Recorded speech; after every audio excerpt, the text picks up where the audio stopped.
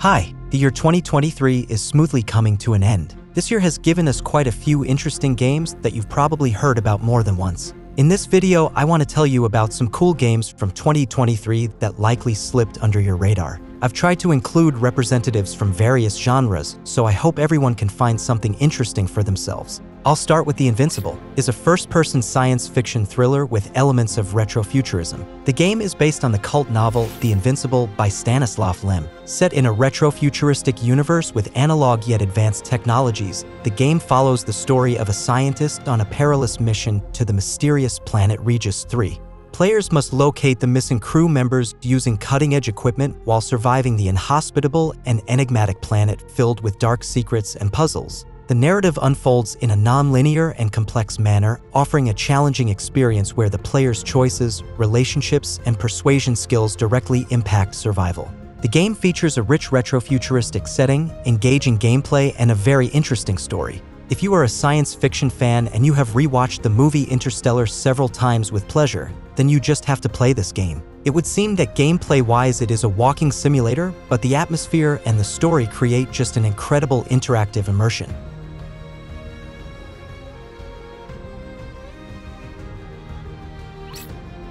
Outpath is a classic survival game set in an unfamiliar world, a mysterious island in the middle of the ocean. Players are tasked with unraveling the secrets of this enigmatic place through exploration, gathering resources, and engaging in vital activities such as fishing.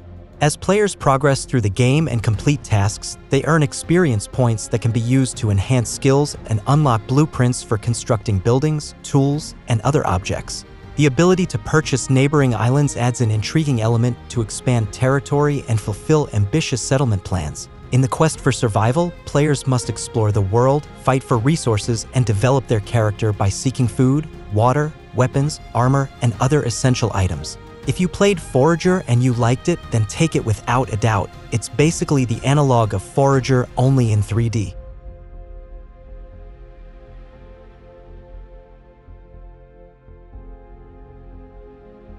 Planet of Lana is an exciting adventure platformer where players encounter a world attacked by lifeless machines along with a young girl Lana and her brave companion. This exciting game involves exploring a mysterious planet, battling robots, and solving challenging puzzles. One of the key elements of the game is the need for interaction between the heroine and her companion, who has unique abilities. Visually, the game delights with its beauty, the locations resemble watercolor paintings. However, platforming elements and puzzles often seem unoriginal. The plot is intriguing but too convoluted. In general, if you like such games as Journey, Inside, Gris, or Limbo, this game will not leave you indifferent.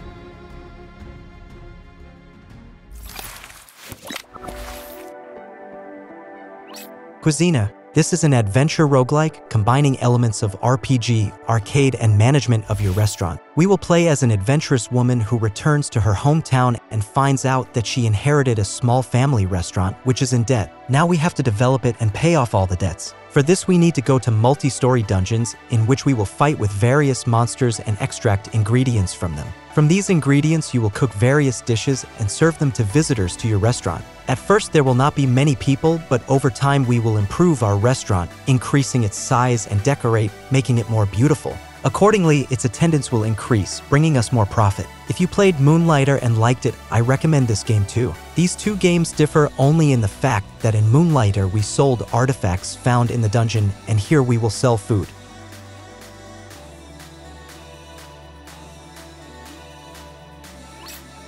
Moonstone Island is a captivating open-world life simulation game that combines elements of Pokemon and Stardew Valley, elevating the experience beyond expectations. As an alchemist undergoing training, you explore over 100 floating sky islands, engaging in various activities such as brewing potions, taming nature spirits, and participating in card-based battles. The game offers the familiar features of a farming simulator, including cultivating crops, interacting with villagers, mining, crafting, and more. However, Moonstone Island introduces a unique twist with spirits replacing traditional farm animals. These spirits, akin to Pokemon, add depth to the gameplay through card-based combat and strategic deck building. The enchanting pixel art style, coupled with well-executed mechanics, makes the game visually appealing and enjoyable. The expansive world includes diverse biomes, ancient temples, and challenging dungeons, providing a rich and immersive experience. Unraveling the mysteries of the islands and mastering alchemy adds an intriguing layer to the game.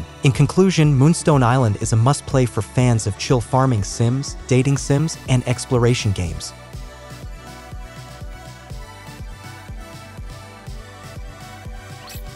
Sengoku Dynasty offers an immersive blend of genres, combining elements of role-playing, open-world exploration, city-building simulation, and life simulation with survival elements. Set in the turbulent times of feudal Japan, players can create and lead their own dynasty in both single-player and multiplayer modes, experiencing the game from either a first-person or third-person perspective. The game offers a rich experience with diverse activities, such as village management, exploration, and interaction with colorful characters. Combat with animals, particularly boars, presents a challenge requiring strategic maneuvering to avoid losing money and equipment upon death. The cooking mechanics work well, allowing players to assign cooks to fireplaces for food preparation. If you like games like Medieval Dynasty, I suggest you check out this game as well.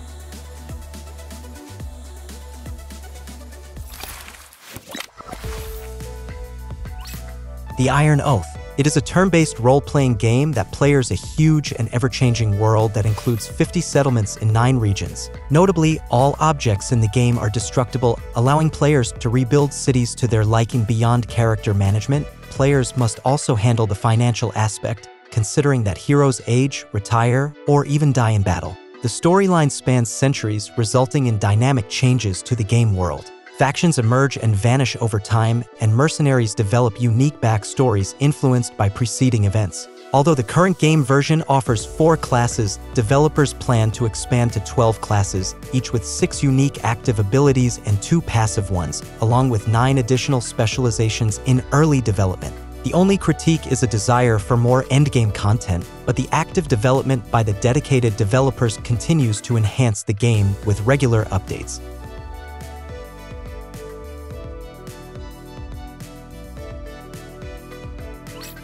Tainted Grail The Fall of Avalon. This is an adaptation of one of the most popular modern board games, reimagining the legends of King Arthur. The game is a dark, first-person RPG adventure in the spirit of Dark Souls, where players explore open world, make decisions, and fight against different creatures. Despite being in early access, the game boasts good graphics, intriguing mechanics, and a compelling atmosphere of hopelessness. The plot is highlighted for its interesting take on the ruinous Avalon setting, promising more depth as additional areas are released. The map and locations showcase unique and well-designed points of interest. Combat variety is a strong suit, with different weapon types and unique abilities adding depth to the gameplay. I especially like the creepy dystopian atmosphere of the game. I recommend it to fans of Arx Fatalis and Dark Messiah. Despite the early access, the game is quite comfortable to play. I didn't find any critical bugs.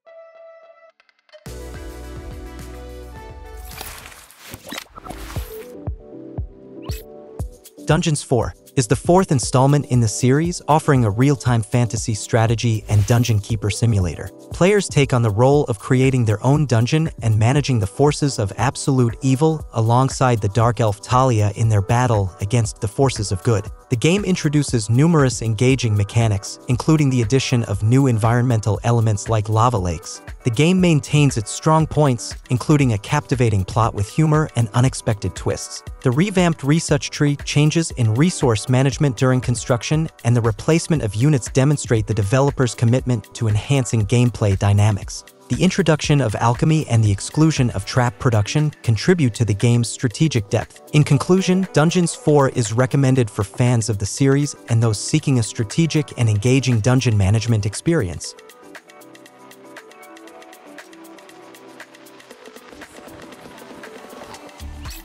Micro-Civilization offers players a pixelated strategy clicker experience where they can explore, expand, exploit, and destroy. The game starts with non-linear population and economic growth, introducing government combinations and hundreds of unique heroes. Players can experiment with ability builds not only for combat but also for construction. The game's objectives include building a prosperous nation, and players have various methods to achieve this goal. Options range from oppressing people to focusing on productivity, attending seminars, and utilizing active and passive abilities. Technological advancements unlock upgrades, military units, bonuses, and new abilities in typical genre fashion. Challenges arise in population growth due to wars, social unrest, invasions, diseases, and disasters.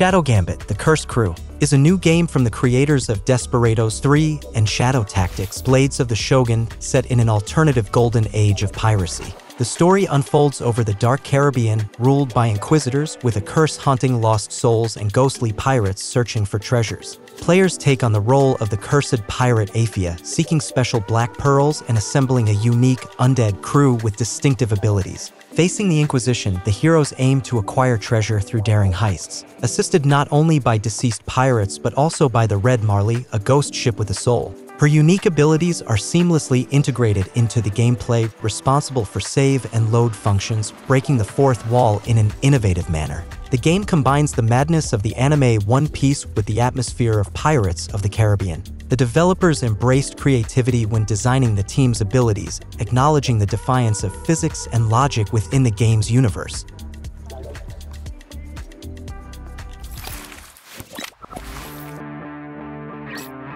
En Garde. This game takes us on a cartoon adventure. The game is set in the 17th century where the protagonist, an experienced swordswoman, fights the local tyrant, Count Duke, and his despotic guards. The plot unfolds both in narrative episodes and in arena battles, offering us a wide variety of adventures, from street fights to prison escapes and villa break-ins. While battles with hordes of enemies are commonplace in games, fencing represents a more specific theme. The developers have focused on this aspect by emphasizing strategic melee combat. Each enemy has a defense score, which encourages players to attack strategically because allowing them to fully recover means starting the fight all over again. Interaction with the environment plays an important role, offering options such as tipping barrels on guards or using the surroundings to gain tactical advantages.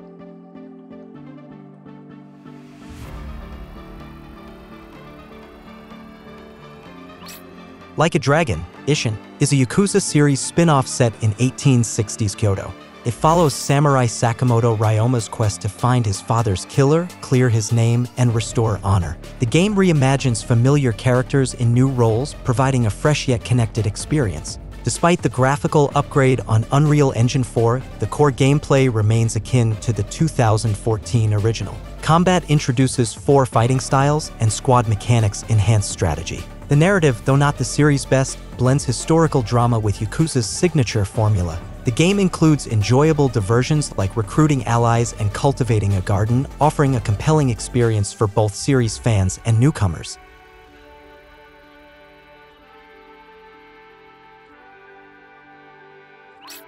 Bramble, the Mountain King, is a captivating adventure platformer with horror elements set in a dark fantasy world inspired by ancient Scandinavian folklore. Playing as Olle, the younger brother searching for his missing sister, the game takes you through diverse landscapes filled with mythic creatures and giant bosses. The narrative, narrated by a storyteller, weaves a dark fairy tale as the siblings journey through a mysterious realm. The detailed world features Scandinavian mythological beings, creating an atmospheric and varied experience. With well-implemented mechanics akin to Little Nightmares, the game offers engaging platforming challenges and diverse boss battles.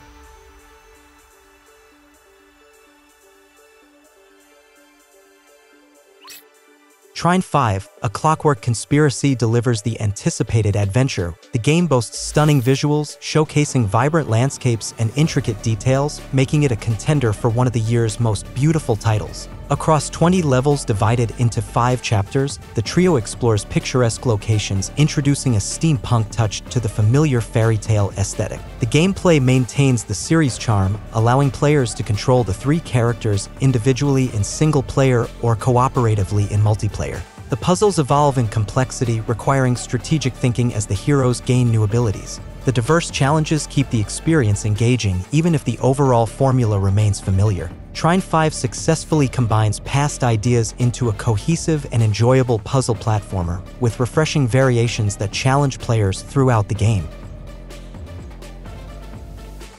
That's all thank you for watching. The Image Game channel was with you. Have a good day.